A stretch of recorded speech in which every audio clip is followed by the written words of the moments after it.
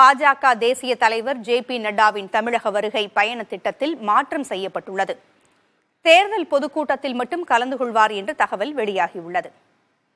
இரண்டாயிரத்து இருபத்தி நான்கு தேர்தலுக்கு தமிழக பாஜகவை தயார்படுத்தும் வகையில் அகில இந்திய பாஜக தேசிய தலைவர் ஜே பி நட்டா ஞாயிற்றுக்கிழமை தமிழகம் வருகிறார்.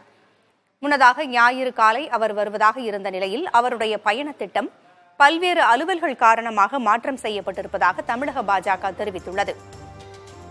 அதன்படி ஞாயிறு மாலை சுமார் ஐந்து மணியளவில் ஜே பி நட்டா சென்னை விமான நிலையம் வருகை தர உள்ளதாகவும் அங்கிருந்து ஹோட்டலுக்கு செல்லும் அவர் முன்னாள் முதலமைச்சர் ஓ பன்னீர்செல்வம் இந்திய ஜனநாயக கட்சித் தலைவர் பாரிவேந்தர் புதிய நீதி கட்சித் தலைவர் ஏ சி சண்முகம் தமிழக மக்கள் முன்னேற்றக் கழக தலைவர் ஜான் பாண்டியன் இந்திய மக்கள் கல்வி முன்னேற்றக் கழக தலைவர் தேவநாதன் யாதவ் ஆகியோரை சந்திக்க உள்ளதாக தெரிவிக்கப்பட்டுள்ளது.